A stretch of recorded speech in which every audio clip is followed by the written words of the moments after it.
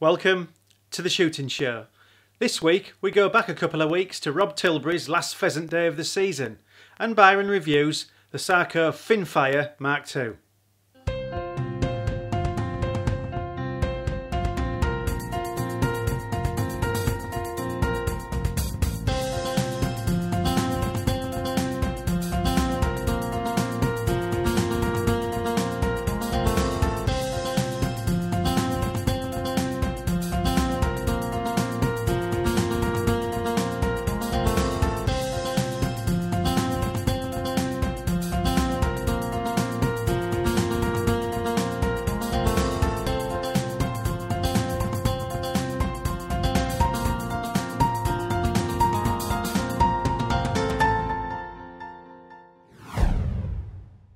This is the last day of our shoot. Uh, it, the birds are starting to thin out a bit now. Um, we need a good team of beaters to get round them.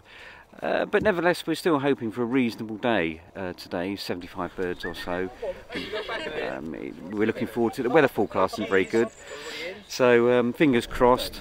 Um, bit of snow forecast, so uh, we'll have to see what the weather throws at us. We're going to uh, shoot eight guns today. We'll move up three. Um, if you could pick up your cartridges off the pegs when you're finished, uh, that would be very, very helpful. And if you could refrain from shooting anything other than game birds until the game starts coming, because we've got a fair few partridges still about, and as soon as we fire the first shot, they're likely to be in the next county. So if you could do that, if you wouldn't mind. And if those was dogs, we've got a hell of a lot of pickers up today, it seems. I don't know where they've all come from. Um, just pick up after the drive.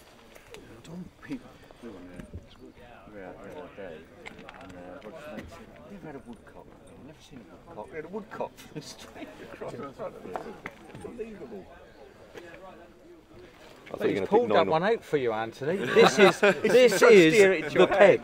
What, what is it then? Six. Well, I got five. I'm next to you. Oh, bloody hell, that's I no good. wouldn't want to be five. You're getting shooting the door. He's a notorious poacher. No, he isn't.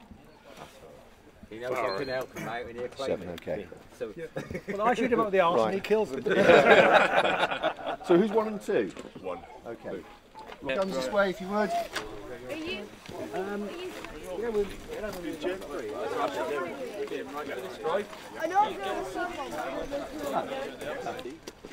Thursday. I know. And then we Right, we're at Steeple Ashton. It's our last day of the season. We're we're hoping for if we can find the birds, um, 80, 80 or so birds. Uh, we've got an absolute army of beaters here today. Uh, this is a nice small drive, two acre cover crop, uh, small duck pond. Um, we, there'll be some partridge, pheasant, and a few teal hopefully off the pond. Uh, maybe a few mallard. It's a good one to kick off, really. Um, I've brought out the uh, Browning B525. Um, I like the way this one handles, and uh, looking forward looking forward to shooting this one. I shot it a few weeks ago, and it was quite successful. So uh, give it another outing. Uh, it's just starting to snow. We said we'd never predict what the weather was going to do today, and it's, uh, it's it is snowing now. Could be good for film. Let's hope it's good for the guns too. With the army of beaters, there shouldn't be a problem getting the birds to lift. The eight guns wait as the snow falls and the day gets off to a roaring start.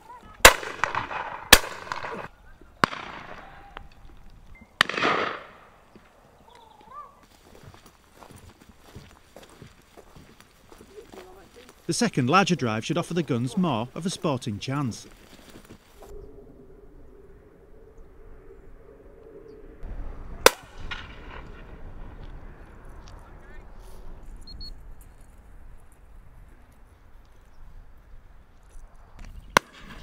Oh, nicely done.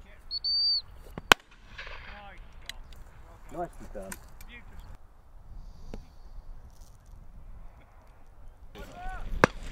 A sudden flurry of birds takes the guns by surprise, breaking through the cover crop in a great flush. Rob stops to reload on the outskirts of the action on a distant peg, and the beaters send one or two skywards.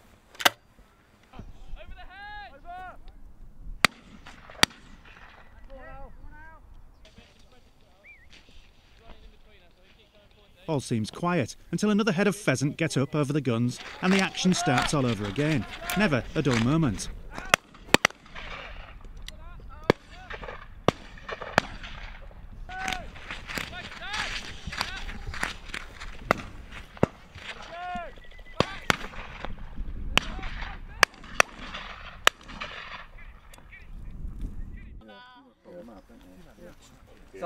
On it.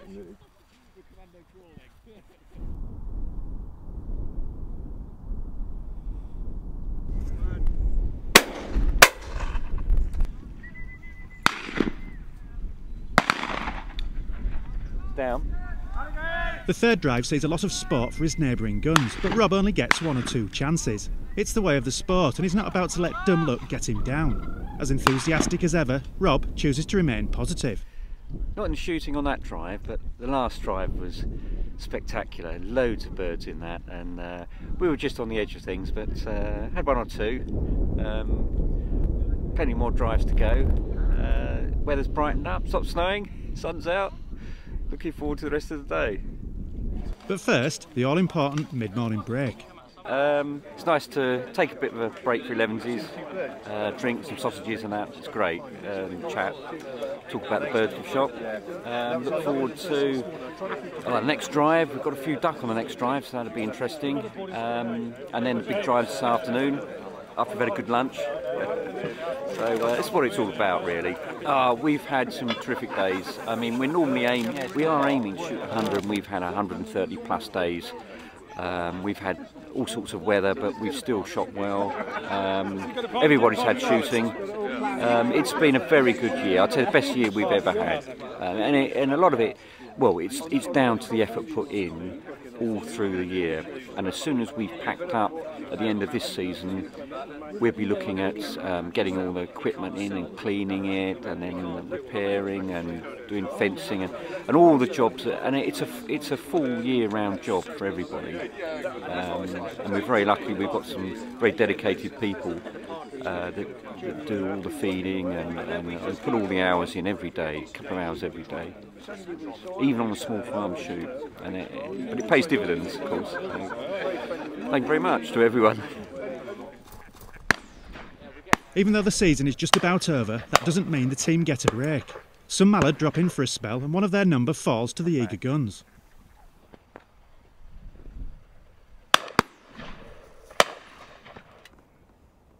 I do hate to be number one gun.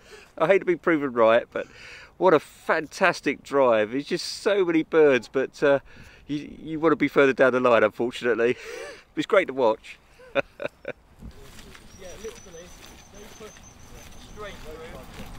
Before long though, it's Rob's time to shine as he moves up the pegs and stands in a good position for some fine pheasant.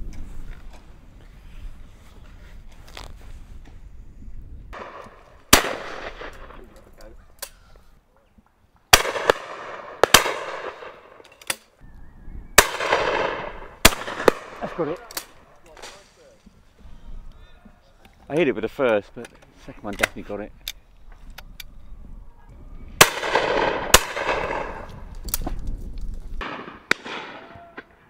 Shot, isn't it?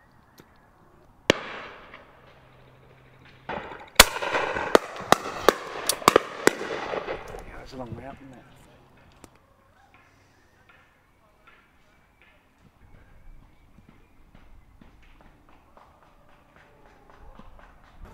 In the sun.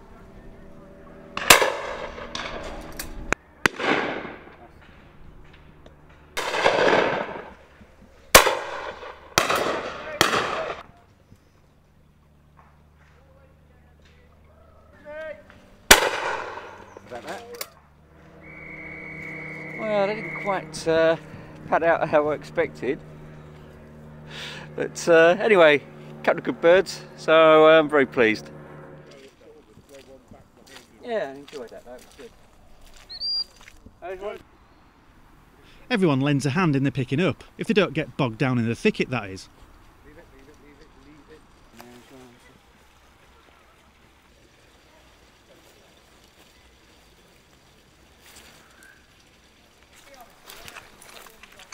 We're almost at the end of the season. Uh, the birds, we've thinned them out considerably. Uh, they're quite jumpy. It takes a bit more to get round them. So we and we've had a record season and record numbers on some of our days. So we're expecting a few less today. But you know, I reckon probably 75 we've shot today. We'll find out soon when everybody comes back. But uh, I've enjoyed it. I haven't been quite in the shooting today, but um, there again last week uh, I was right in the thick of it. So uh, it's the way things go. Um, but it's turned out really well considering the weather forecast. Um, a little bit of snow this morning, but it's beautiful now. Um, we're really pleased, I think, with how things have gone this season. Beaters Day uh, next week. Um, there's still a lot of birds left, so I think we'll put on a really good show for the beaters next week. Um, they should have a, really enjoyable day, proper driven day for them as well, and I think that's important. A very pleasing bag for all concerned, and there's one last tradition of the shoot that needs to be addressed the Best Shot Award. Dad, do you know who you're going to award the Archie Cup? Tell me you're going to come to in a minute. Um, yeah, okay. Right, okay then. Uh, I'd like to award the Archie Cup for best shot today. Um, Drop it oh, on it's, it's really heavy. It's the weight, it's yeah. the quality, isn't it? Um, I'd like to award this to uh, Jim um, for his pheasant, um, which was an excellent bird, an excellent hen bird, wasn't it? Yeah. So, um, well done. Oh, you, Jim. Brad. Thank you very much. Thank you. Uh, we, normally get a, we normally get a picture actually. It's a, it's a tradition down here. If you're a newcomer and you get the cup, you've got to buy everybody a bottle of port. oh, I see, yeah. Oh, yeah. Well, get a photo. Is that the time already? yeah, yeah. hold it get a photo. There's a proud man. Yeah. Rob there getting his money's worth out of the syndicate. And now, it's the Shooting Show news. This is the Shooting Show news. It's less than a week until the British Shooting Show. The biggest indoor shooting show the UK has seen, the shooting show takes place for the seventh time this weekend at Stoneleigh Park. We'll be there reporting on all the latest news and hottest products. You can still buy advance tickets until Thursday. Head to shootingshow.co.uk to get yours. We're into the final week of Sporting Rifle magazine's auction to raise funds for Save the Rhino. The auction closes on Monday the 16th, and the Sporting Rifle team said they were hoping for a final push after the total pledge to pass the £10,000 mark last week. With all the money raised going to fund anti poaching units in South Africa and Swaziland, every penny is important. Keep up with all the latest bids on the Sporting Rifle website. Just a week after Mark Windsor won a Range Rover in the Stratstone Ultimate One Challenge, there's another car up for grabs at Royal Berkshire Shooting School. The 11 week Handicap Classic has begun. It's a unique competition that applies a handicap system to put regular shooters on an even footing with the sport's elite. We asked one enthusiastic competitor just why he enters the Handicap Classic year after year. They're hard. I mean, the course is quite tough. Some of the birds are teasing. They seem to be very easy, and yet you can overmarch and undermarch and over the top underneath usual stuff, really. But it's a very nice layout. Keep up with all your competition news in Clay Shooting magazine. There's good news for shooters in Europe as Norway rolled back its ban on lead shot after a decade. A parliamentary vote on repealing the Norwegian lead ban easily passed by 79 votes to 16. Norway's Hunters Association had been campaigning for repeal for years and managed to secure declarations of support from four of Norway's main political parties. In the UK, BASC welcomed the result. And finally, the Countryside Alliance Award winners have been announced. Presented by Environment Secretary Liz Truss, the award saw Peelham Farm in Berwickshire win the second annual Clarissa Dickson Wright Award. Suffolk Food Hall won the Local Food Award, Ludwell Stores was on top in the Village Store category, Park Hill Farm in Shropshire won the Enterprise Award, and Nolan's of Kilcullen in County Kildare ensured that the Traditional Business Award headed across the Irish Sea. It's the 10th time these awards, dubbed the Rural Oscars, have been handed out. That was the Shooting Show News. This week I bring to you a rifle which has been quite some time in the making. It's a little bit of a return to the past, but it's definitely a welcome addition to the market. I'm talking about the Sako Finnfire Mark II. Now, this little rimfire, uh, some of you may remember in its original version, and when it was discontinued, it was met with quite considerable sadness. Hunters out there and and shooters who were really fond of the original Finnfire wanted to see it back, and Sako listened. The Sako Finnfire Mark II is out, and essentially it's just a throwback to the original model with minor modifications. But essentially, we have the old Sako uh, Finnfire back, and we've got a single caliber rifle in a format which arguably is one of the sweetest little rimfires now on the market. So what do we have in this rifle as a whole? Well, we have Sako staying true to the original Sako Finnfire, and that was a rimfire rifle that had a big rifle feel. And you can see just by looking at it that you know, it could almost pass itself off as a, a 2-2 Hornet. It just has that, uh, that shape and feel about it that makes you feel like you're actually handling a big rifle. Not the lightest rimfire on the market, but it's balanced well, it doesn't feel that heavy in the hand. The wood is fairly plain, uh, it's nothing too fancy here. Remember, this is a workhorse. All rimfire rifles are workhorses, so it does the job. It's quite light on the on the checkering here at the front. Not not quite sure why it's not as, as dark as the checkering on the pistol grip. In terms of comfort for handling, well, not a huge amount has changed. It's perfectly functional for the job at hand, and I really have no complaints there. Underneath the rifle, we've got the, the bottom assembly here, which uh, is an integral part of the trigger guard. Now, this is actually made of plastic, just like the Sako Quad. For me, this part of the assembly should be made of a, light alloy of some description, but you know, Sako have opted for this on both their models, and it seems to work. The trigger, as you can see in there, nicely shaped Sako trigger blade. You know, Sako triggers in terms of factory triggers on the market, they do make some of the best, and the trigger on the Finnfire is fully adjustable and is no exception. Real nice, clean, crisp break. The blade shape as well is ju just how I like it. Uh, a number of small ridges running the length of the blade, which also help just to, to aid a little bit of grip on your fingertips, especially useful in poor conditions. Magazine, that's sitting uh, just forward where you would expect it to be. It's released by this little synthetic lever here. Press that in and the magazine will pop out. There is no difference between this magazine and what you find in uh, the Sako Quad plastic on the bottom, very light um, alloy sides to it, and a plastic follower. Straight stack, just like many rimfire magazines. This is a 5 shot, of course you can also get the extended 10 shot as well, and that clips into there. I can't see it coming out uh, by mistake. You don't have to depress it very hard to get the magazine to drop out, but it's nicely recessed, so it's very unlikely you're going to catch that and drop it in the field uh, unintentionally. Go from the magazine back up to the, the meat of the rifle into the action, and there isn't a huge amount that's really new here. Most people will be familiar with what's going on if you know the Sako rimfires. We've got a nice, uh, nicely shaped bolt, all made of metal, with the exception of a little um, synthetic insert inside. It's hollowed in here just for weight. It sits out from the rifle just about right. There's nothing worse than a bolt sits too close to the stock, and that, of course, aids uh, very easy cycling.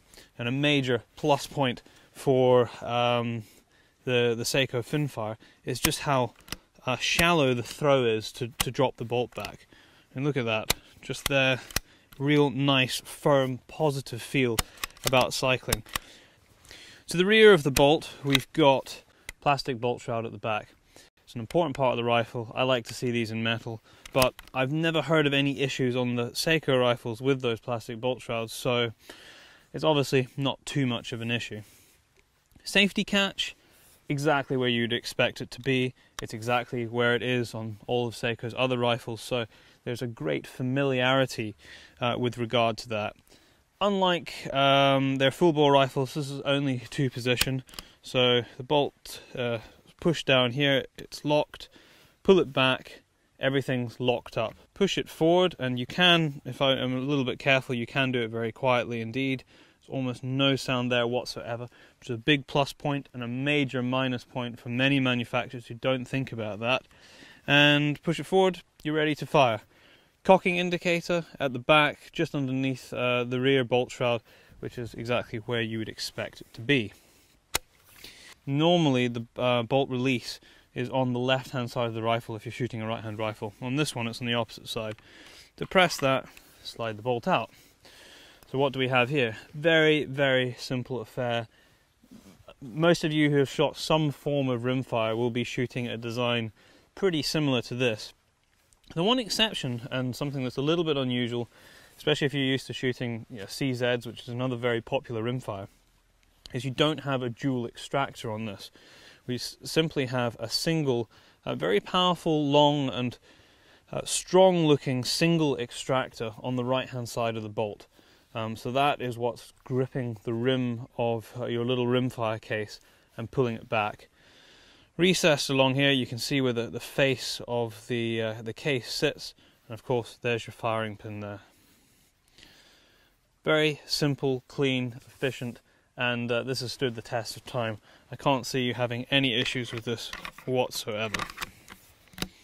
We've got this nicely uh, milled and chamfered face in here, which has the, the Sako name in it. Big open port, closed on one side, so it's not fully open, but it's open on top, open on the right hand side, and uh, it throws cases out. You're not going to have any issue with that. Certainly, the, the fixed um, ejector system in here and the extractor claw does the job very well indeed going from this uh, forward into the, the receiver itself, we can actually see uh, where the barrel comes through the receiver and into uh, the back here where the bolt face actually meets it. A little recess there where the extractor claw pushes in and feeds round the rim of the case. Going to the, the front of the rifle, we can see it's nicely screw cut here with a standard thread. Plastic um, thread cover, not really intended um, to be put on the rifle all that often. I don't think it's not even threaded inside. It's really just a protector, and most people are shooting rimfires with a moderator on all the time. Lastly, before I take the wood away from the metalwork to have a look inside, we just have a look along the top of the rifle and I've already put a piece of paper down here and I can see that it's fully floated right up to the receiver. It doesn't sit perfectly central in the stock cover, which is a little bit surprising. I would have thought that it would be, um, you know, perfectly symmetrical. Maybe when I disassemble it and put it back together, I might be able to bolt it down straight in line. I'll have a look at that. But the important point is that the stock isn't touching anywhere.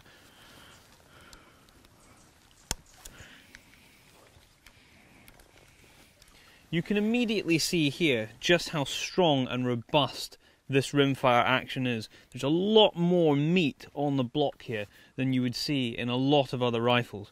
We've got a big, fat, flat-bottomed receiver, which is great to see. It's a, it's a brilliant action uh, for bedding down into the stock. At the front here, you can see uh, where the barrel uh, meets the receiver itself and where it slides in. Now this barrel can actually be removed although it is not designed um, to be taken out all the time, but if it ever needed to replace, it's a, a very simple affair. In the middle, we've got the magazine housing, which is also made of a plastic material. It's not particularly strong. You can see if I just squeeze it here, it moves. However, it's encased inside the rifle stock the whole time, so I, I can't see that uh, being an issue whatsoever. One thing is, it's not going to rust. Behind that, the famous Sako trigger unit, um, if I just cock it, you can actually see the engagement in here and where the faces meet and how the rifle breaks. Beautiful and crisp. I should just qualify what I said earlier about uh, being fully adjustable. This is adjustable for sear engagement, um, but you don't actually have any control over um, trigger weight or over travel. Having said that, you don't need it. Uh, this rifle, as it's come right now, I haven't even in, in adjusted any of the engagement is spot on the money. And lastly, if we just have a look how it fits in the stock itself, slightly surprising that there is no bedding in here at all. Uh, I would have kind of expected that Sako would have put some form of bedding compound in the front, mainly just because it lends itself so nicely to it. We've got big square edges and a big flat bottom, it would just bed in absolutely beautifully. They haven't done it, however, but what they have done is you can see this recoil block at the back here. So instead of having uh, any kind of recoil surface at the front, all we've got here is the fixing front pin, uh, which goes through uh, the bottom of the uh, front action screw rather. We have this face just at the back of the trigger uh, mechanism, and this face here mates with this really wide recoil pin right at the rear. A little bit unusual to have uh, the recoil surface right at the back of the rifle, but it is a rim fire, so it's not taking a huge amount of punishment, and certainly how it shot on the range, it seems to work. Um, certainly no complaints there. I haven't shot the rifle a huge amount, I've done a little bit of hunting with it. Uh, I've taken it on the range, I've probably put uh, two or three boxes of, of 50 through it, and as I expected, and as most 2.2 rifles uh, do these days, it's, it's quite hard to find one that doesn't shoot. Put a variety of ammunition through it, shooting high velocity, shooting low velocity, 50 yards, out to 100 yards, and absolutely nothing to complain about. You'll be able to roll over bunnies with this all day long.